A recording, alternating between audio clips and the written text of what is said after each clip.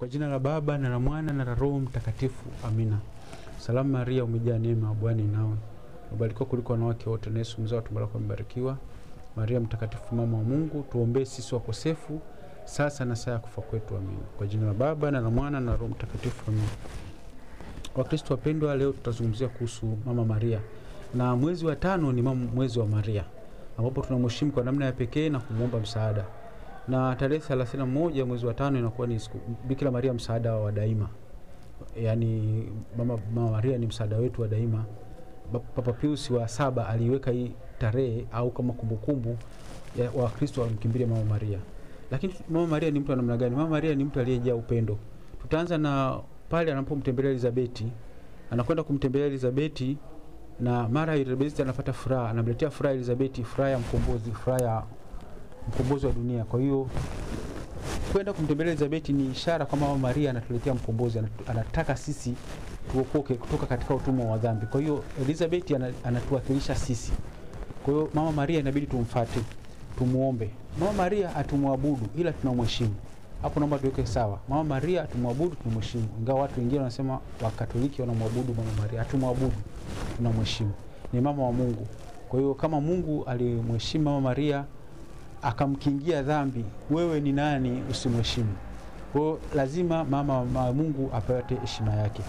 Alipokwenda kumtembelea Elizabeti, tunaangalia katika Injili ya Luka sura ya kwanza mstari wa 46, wakati Maria anamsifu Mungu, anasema kwamba utenzi wa Maria, anasema kwamba Maria akasema, moyo wangu wamwadhimisha Bwana na roho yangu imemfurahia Mungu mwokozi wangu, kwa kuwa ameutazama unyonge wa mjakazi wake. Kwa maana tazama tokea sasa vizazi vyote wataniita mbarikiwa,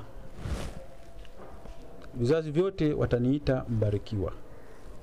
Mwisho wa kunukuu. Kwa hiyo katika utenzi huu ambao unaendelea, utaendelea kwa wakati wako binafsi, tunaona mama Maria anamtukuza Mungu na anasema kwamba vizazi vyote watamuita mbarikiwa. Ndio maana tunamuita mama Maria mbarikiwa. Amebarikiwa kuliko wanawake wote, na Yesu mzao wa tumbo lake amebarikiwa. Na mama Maria ni mama ambaye anatusaidia.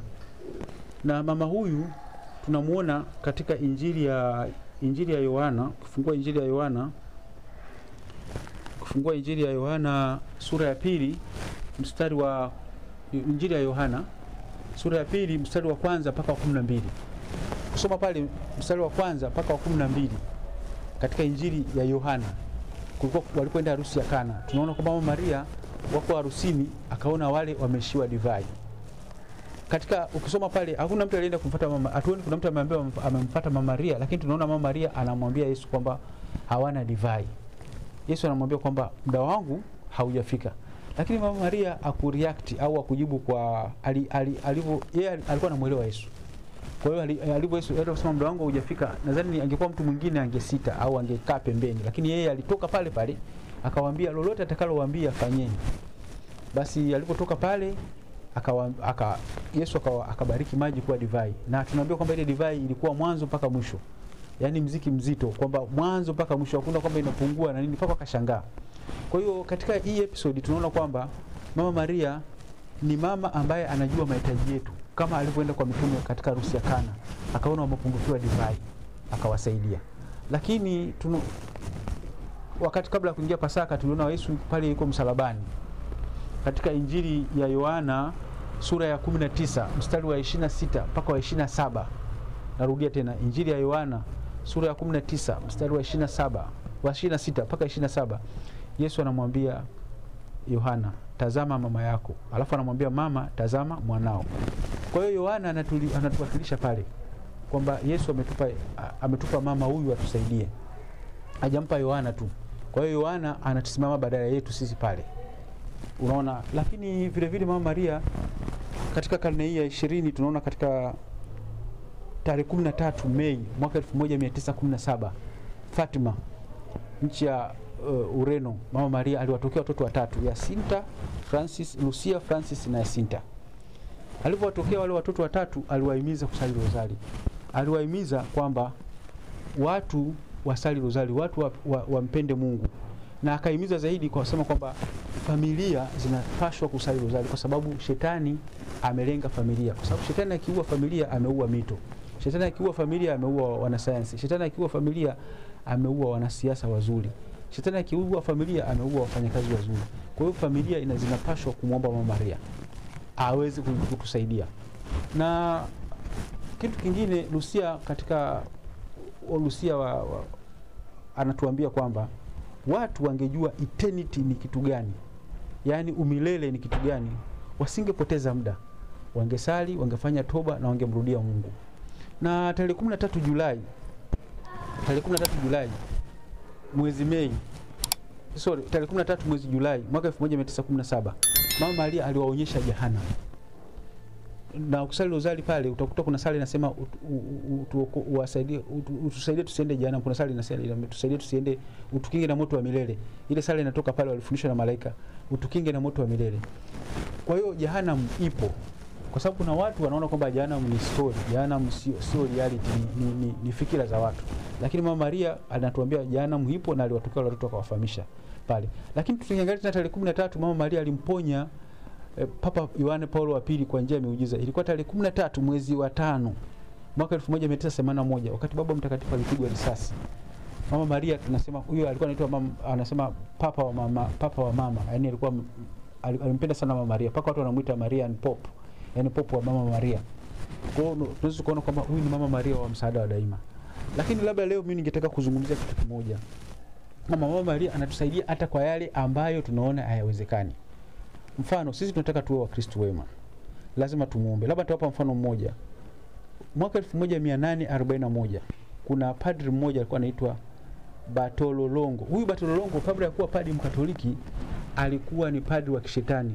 Kuna kuna yale madhehebu ya kishetani yanaitwa satanic cult. Satanic cult ni madhehebu ya kishetani. Huyu padri alikuwa na, alikuwa ni padri wa kishetani, yaani anafanya hawa wanakuwa wanaiba Ekaristi, sijui wanaiba kwa njia gani alafu wanamweka mwanamke uchi, wanaadhimisha ibada yao ambayo ni ya kufuru. Sasa huyu alikuwa ni padri wa kishetani, anafanya ibada za kufuru. Mengine singisema hapa nitawakwaza watu, lakini ni zinakutisha na kufuru ya, ya ajabu.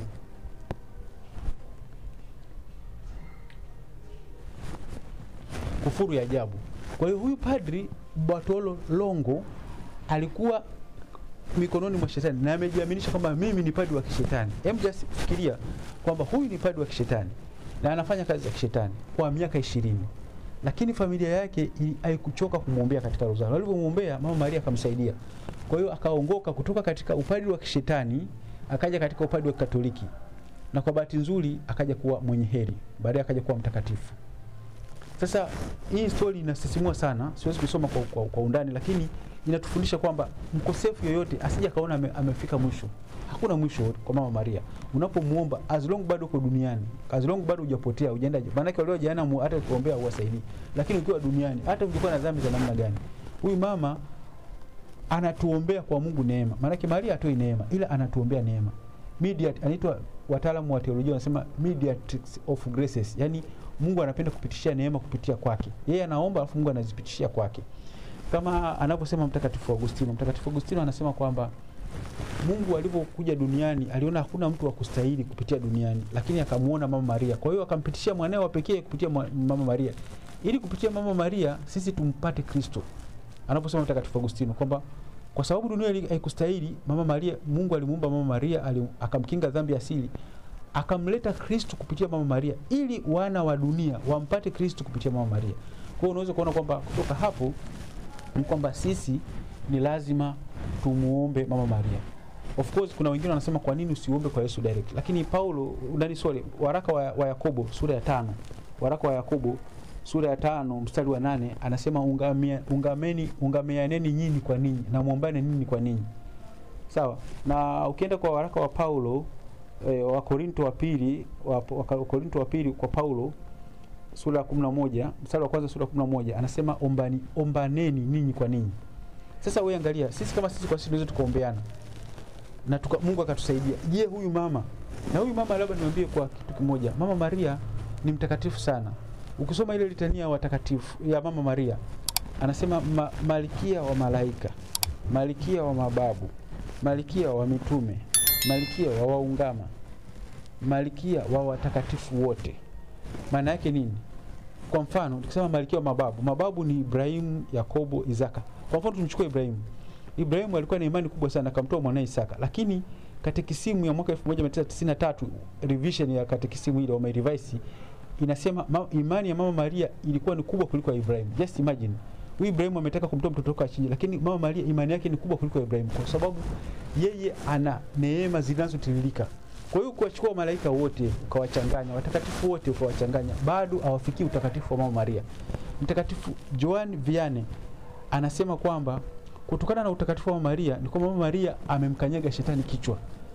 Kwa lugha nyingine mama ni kwamba kwa utakatifu alionao shetani anakuwa muone mama Maria. Ndio maana shetani mama Maria akifika kwa shetani anamkanyaga kama kama kama kuku vile. Anakanyaga kichwa. Kwa sababu utakatifu wake unampofusha shetani asimuone.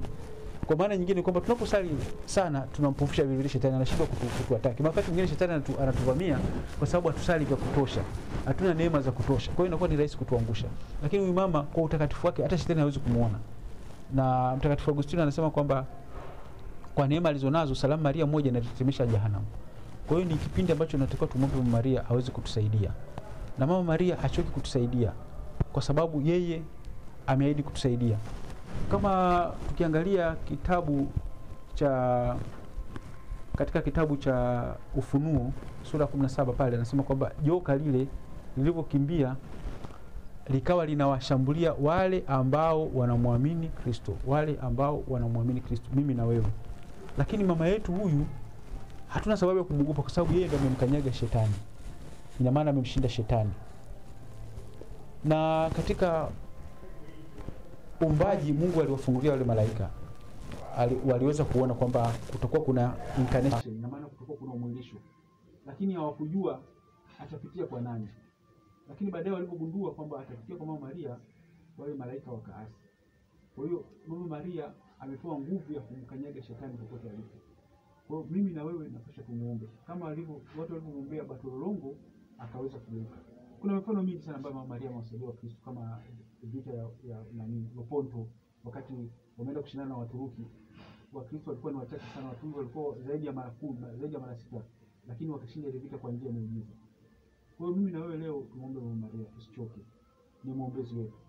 Na mimi na wakati mwingine najiuliza, wakati Mama Maria mwatoka kwa Fatima, Francis alimwambia Mama Maria, alimwambia Mama Maria, akamwambia mama, naomba nifike mbinguni. Mama Maria alitabasamu, akamwangalia yule mtoto. Francis alikuwa na miaka saba, alikuwa na miaka saba, akamwambia yule miaka saba na imagine hakuwa na dhambi kubwa za mauti wala kuja dhambi zingine, lakini alimwambia ili ufike mbinguni lazima usali rozari nyingi.